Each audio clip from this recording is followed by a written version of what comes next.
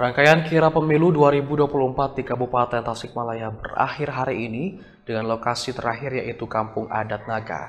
KPU Kabupaten Tasikmalaya berharap dengan masifnya sosialisasi ini, partisipasi masyarakat dalam pemilu akan meningkat. Rangkaian kirap pemilu 2024 di Kabupaten Tasikmalaya berakhir pada tanggal 24 November 2023. Lokasi terakhir dari pelaksanaan kirap pemilu yaitu Kampung Adat Naga, Kecamatan Salawu, Kabupaten Tasikmalaya.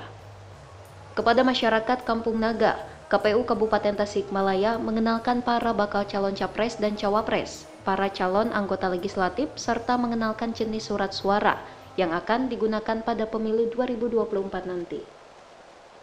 Selain mengenalkan para peserta pemilu, KPU juga mengingatkan kepada masyarakat untuk datang ke TPS pada tanggal 14 Februari 2024 untuk mencoblos.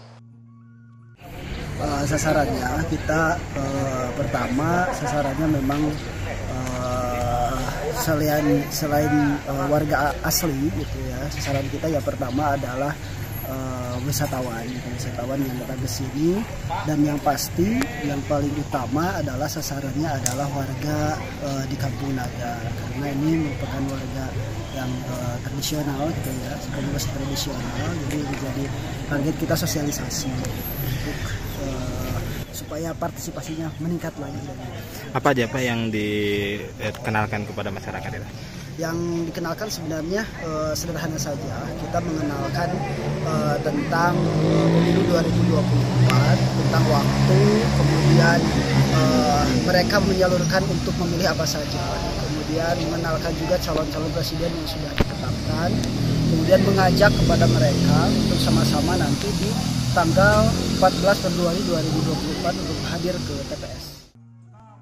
Dengan pelaksanaan sosialisasi yang masif, KPU Kabupaten Tasikmalaya berharap tingkat partisipasi masyarakat akan semakin meningkat. Fajar Rivaldi, Radar TV melaporkan.